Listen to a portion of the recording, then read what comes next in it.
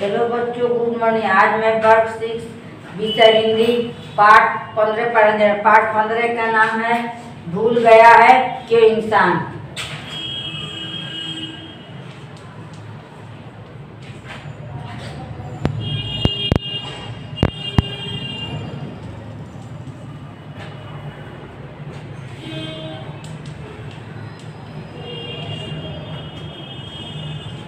पाठ का नाम है, भूल गया है क्यों इंसान। इसका पहला पंक्ति कविता और उसका अर्थ लिखवा चुकी हूँ। आज मैं दूसरा पंक्ति कविता आप लोग को लिख रही है, इसे आप लोग कॉपी में लिखिए।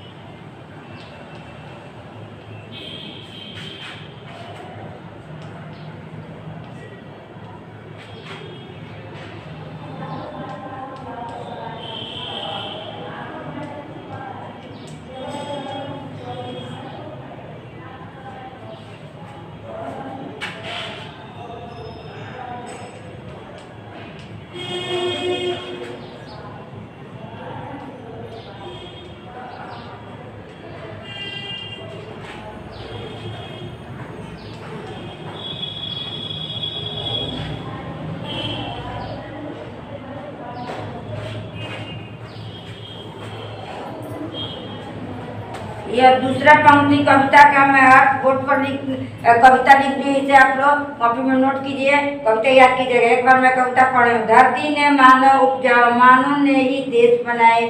बहु देशों में बसी हुई एक धरा संतान। भूल गया है क्यों इंसान?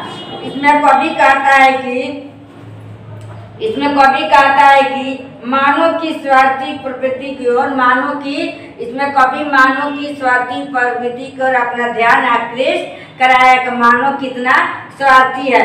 कवि का कहना है कि धरती के सारे मानव का निर्माण एक ही ईश्वर ने किया है। मनुष्य है, धरती पर जितने भी मुस्लिम, हिंदू, मुस्लिम, सिख, ईसाई जो भी हैं, गरीब, अमीर, छोटे जात, बड़े, जो भी हैं, सबको क्या है? एक ही ईश्वर ने बनाए हुए हैं। अर्थात संसार के सभी मानव एक समान है। तो संसार में जितने भी मनुष्य हैं, सभी क्या है? एक समान है। उनका शरीर समान उनका सभी का शरीर एक ही तत्व से बना हुआ है। कोई किसी में मिलावट नहीं है। उनका शरीर एक ही तत्व से बना लेकिन मानव ने स्वार्थ पूर्ति के लिए धरती को बांटा। लेकिन मानव अपनी स्वार्थ की इच्छा के लिए क्या किया है? इसमें, इस धरती पर धरती को बांट दिया है। या हिंदुस्तान है, या पाकिस्तान है इंग्लैंड है अमेरिका है यह बांट दिया है। लेकिन उनके प्राण समान, लेकिन सभी का प्राण जो है, दिल जो है, एक समान है। उनकी नौसरता काया का समान। उनका शरीर जो है, एक ही समान है।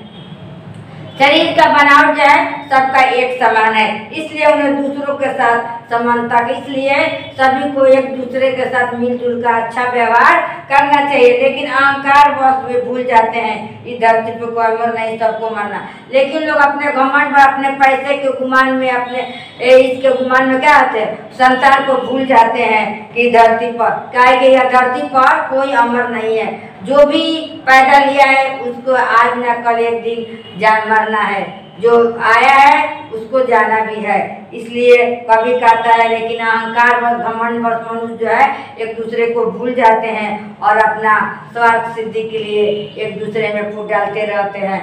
लेकिन आत्मा धरती पर कोई अमर नहीं है, सबको एक दिन मरना है। इस पाठ का, इस कविता का अर्थ है। इस कविता को आप लोग बढ़िया से कॉपी में नोट कर लीजिए। आज आज मैं आप लोग को ऐसे पढ़ के बता दी हूँ। कल मैं आप लोग को इसका अर्थ विस्तार पूर्वक बोर्ड पर लिख दूँगी।